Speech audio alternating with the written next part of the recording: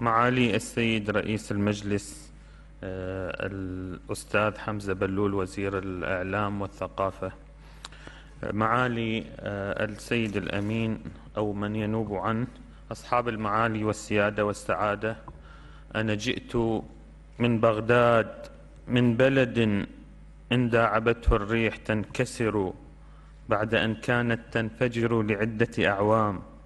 جئت من بغداد لأتقدم بالشكر الجزيل لكم جميعا وللجامعة العربية وأمينها العام وأمناء وأمانتها الفنية والإدارية ولمعالي وزير الإعلام السعودي رئيس المجلس السابق على كل ما قدمه من حكمة وفعل وحضور وأبارك لأخي معالي الوزير حمزة بلول الذي تسلم مهامه توا.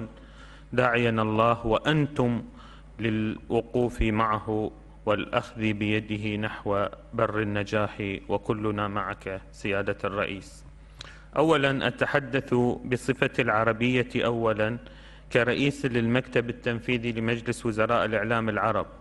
وأتمنى منكم وعليكم إعطاء الموضوعات التي سأطرحها باختصار شديد الأولوية القصوى لأني أتحدث لكم والعراق قد اكتوى بنارها لأعوام ودفع أبناءه ضريبة لها ولنيرانها المتقدة وهي تفعيل العمل بلائحة تنظيم الخطاب الديني في الإعلام العربي وإقرارها في كافة الدول العربية والإسلامية لأنها ستساعدكم على انتزاع كل ما علق بالذهن العربي من رواسب للكراهية والتطرف. كذلك أتمنى تفعيل استراتيجية عربية موحدة للإعلام أسميتها تحالف الإعلام العربي لدعم القضايا العربية كقضيتنا الأولى فلسطين وما تتعرض له بيروت الجميلة بيروت الحياة ما يتعرض له اليمن السعيد ما يتعرض له كل بلد عربي لننضج خطابا عربيا موحدا تجاه تلك القضايا. أخيرا أعود عراقيا لأجدد دعوتي لكم جميعا لحضور ملتقى الإعلام العربي في بغداد لإعادة قراءة وتهجي مدينة الحضارة والثقافة تحت شمس العراق وعلى بعد موجتين من دجلة والفرات للاطلاع على التحولات الإيجابية التي حصلت في العراق مؤخرا والتي كانت بفضل همة أبنائها وحكمة حكومتها إذ تحولت بغداد من ميدان للصراع إلى ساحة للحوار واللقاء بين العرب والدول الأخرى.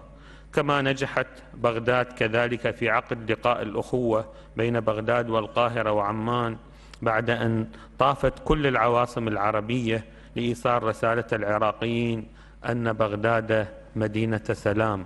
كذلك أتقدم بالشكر الجزيل للأمانة الفنية الدكتور فوزي الغويل وللسيد الأمين العام المساعد ولكل من آه، سهر طوال تلك الليالي وأنا شاهد على ذلك آه، خلال هذه الفترة التي توليت بها رئاسة المجلس التنفيذي والختام آه، بالنسبة لي وليس بالنسبة للجلسة التي يحددها السيد الرئيس شكرا لكم بقدر نخيل العراق.